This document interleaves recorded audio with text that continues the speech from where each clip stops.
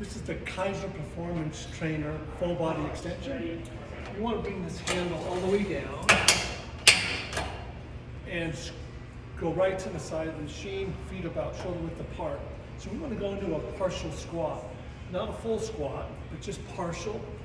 And then really extend and put those down. But we want to extend up. The important part here is really extend up, pushing from the legs, extending the hips. When we, when we descend, want to descend down like we're in a, uh, phone booth. So we don't want to turn in, straight down. And then as I explode up, I can get a little bit of turn at the top here. So I can use the rope,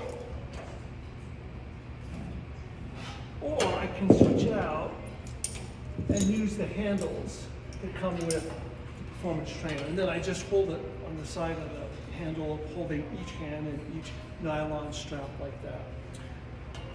So come down, partial squat, explode up like that, come down, don't turn in, stay in that phone booth and explode up.